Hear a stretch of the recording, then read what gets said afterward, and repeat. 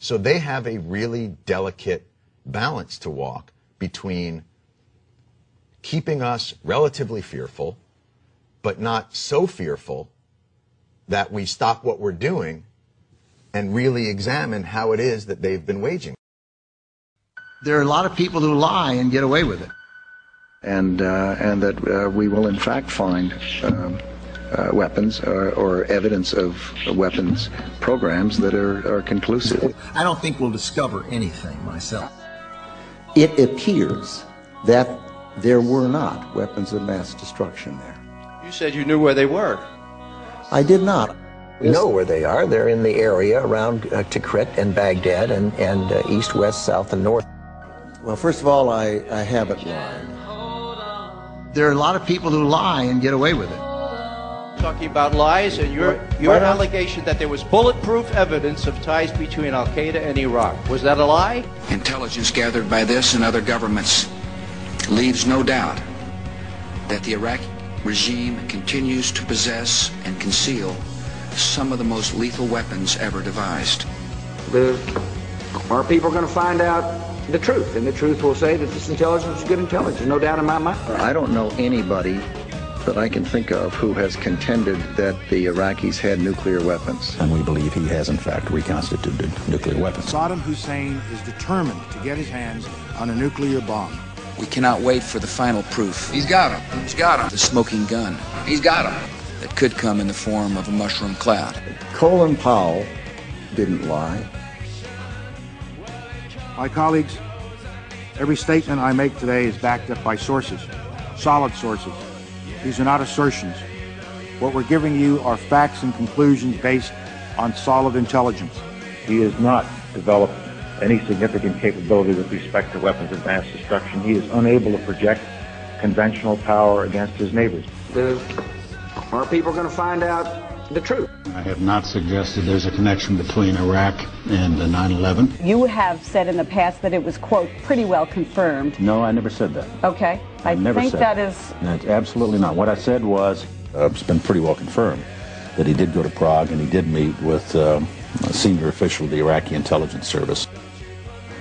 Saddam Hussein aids and protects terrorists, including members of Al Qaeda. Secretly and without fingerprints, he could provide one of his hidden weapons to terrorists or help them develop their own. What did Iraq have to do with what? The attack on the World Trade Center. Nothing. He said there were three main reasons for going to war in Iraq weapons of mass destruction. Saddam Hussein has gone to elaborate lengths, spent enormous sums, taken great risks to build and keep weapons of mass destruction. The claim that Iraq was sponsoring terrorists would have attacked us on 9 11.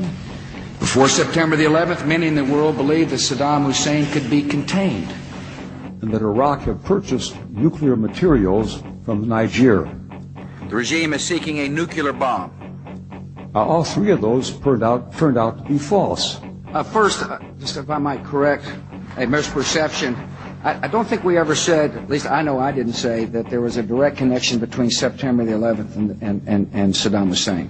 Who does the president think he's effing kidding? Um, of course, it was information that was mistaken. There are a lot of people who lie and get away with it. Those weapons of mass destruction got to be somewhere.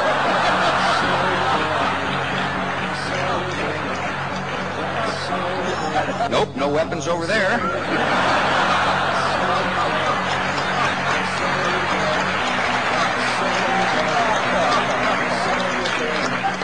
Maybe under here.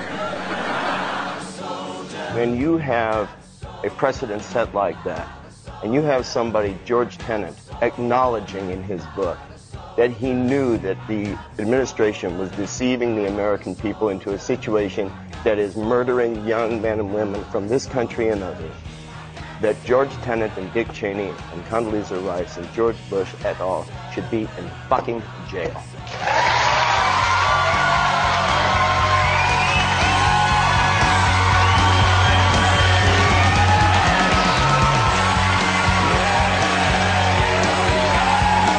I'm mad as hell, and I'm not going to take this anymore. What you, you got to figure out what to do with uh, all of the uh, debris. How about you? You made money off the Gulf War! And now you're going to vote for your fascist son! All lies! More lies! Still lies!